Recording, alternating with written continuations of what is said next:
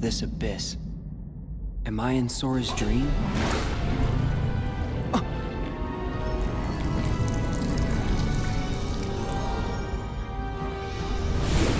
What?